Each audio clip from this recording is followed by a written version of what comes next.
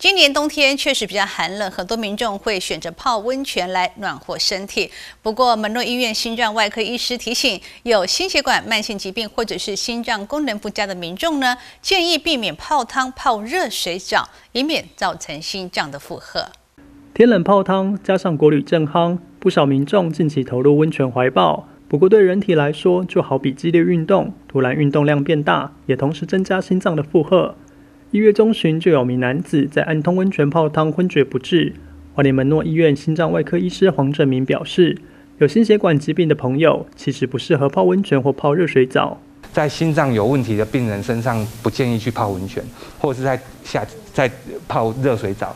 不是只有温泉哦，也是不要泡热水澡，因为在心脏功能不好的病人，他的很多的血管其实是关起来。我们在平常的时候，很多的血管微血管是关起来的，它没有打开。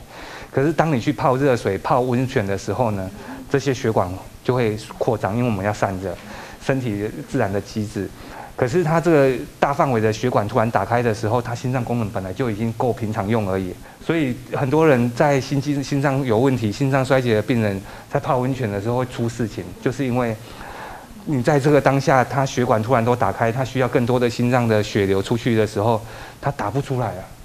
他他的心脏已经撑到极限了，所以他可能就心脏就要更用力，原本不会缺血的，这个时候就会诱发他缺血，那也会造成心脏负担变大。突然泡完澡之后，哎，我怎么这么喘？那那就是因为心脏，这群人就是要特别小心，尽量不要泡热水，再来就是不要泡温泉。卫生福利部国民健康署也提醒民众。天冷时泡汤时间一次五分钟，不宜超过十五分钟。缓慢起身，泡汤前后多喝水，留意水温，避免温差变化太快。